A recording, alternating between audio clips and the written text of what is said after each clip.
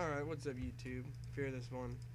And I'm going to be showing you what I did in After Effects in Sony Vegas and how to get your film looking professional like. So, you get your film in here and it looks just boring, nothing really special about it. So, first things first, go to properties and you want to change it to NTSC DV widescreen and click OK. Then you want to right click on your video, which most people usually forget when they're doing this, so their video usually looks square all the time. Then you want to go to pixel aspect ratio in the media tab and click NTD, NTSC DV widescreen, then click OK. And it makes your video wider.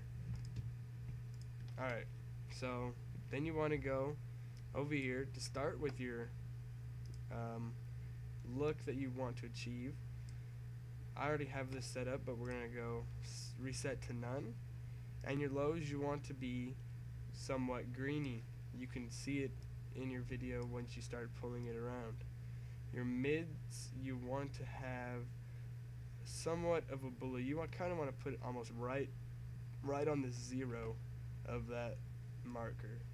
And your highs want you want them to be uh, yellow like kind of somewhat just on the right side of that zero. Let's tone this blue down a little bit. A little bit more. Just about right there. Sorry about that guys, my comp is being ridiculous right now.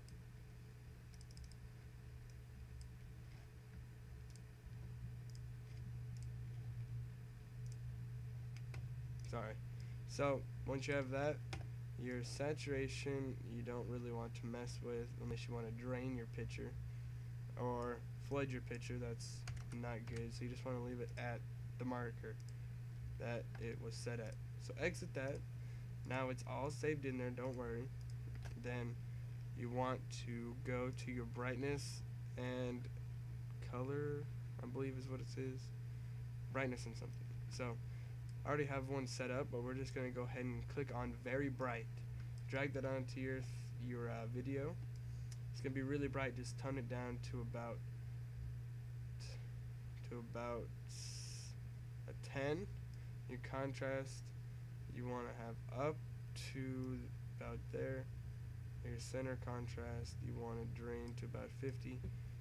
Now let's change this to about a 4 or you can just take that off. You don't really have to have this. This is just a little something extra to achieve that look that you got in After Effects. So now you have that. It pretty much uh, ju almost just like what you achieved in After Effects. So to get your mask you want to click on the event pan crop button. Go down here to position mask click on that click the pen tool and just draw a circle around your video. It's gonna look pretty crappy yes I know. You want to just click both and feather the crap out of this. So 250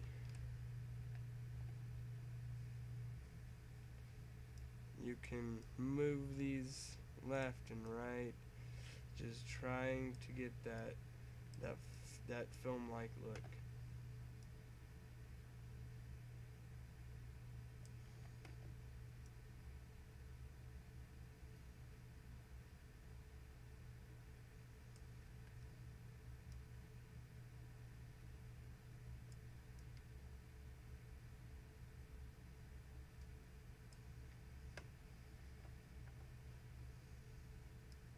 That looks alright. I wouldn't really grade it. It'd probably be like earn like a zero on mine.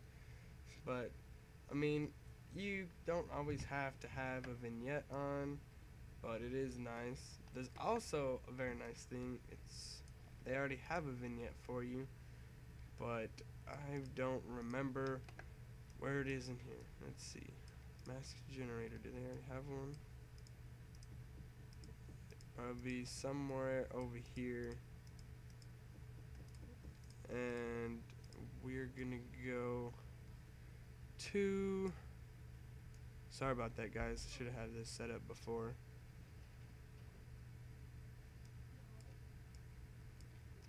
Hold on. Let's just go ahead and, and remove this vignette of crappiness. So, so what we have, we're just gonna go ahead and drag this circle on there. And then we're going to go to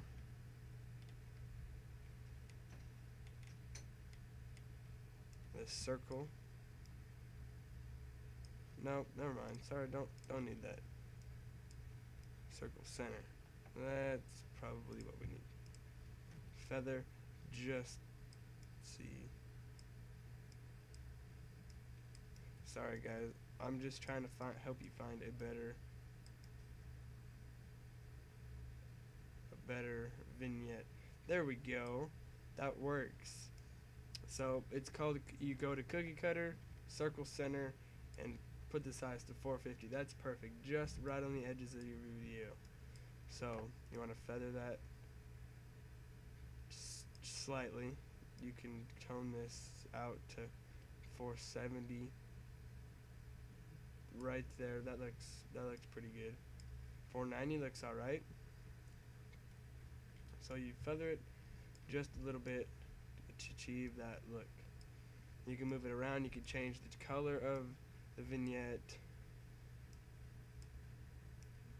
But I really wouldn't recommend doing that because they just mess it up. So that is the tutorial for Adobe. I mean not Adobe, Sony Vegas Pro 9 or any really any any Sony Vegas you have. It looks pretty good to me. I like it.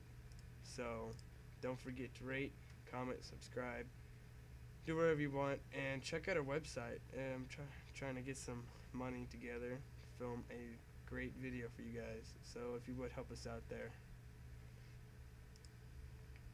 Thanks for watching. This has been Fearless One, so enjoy.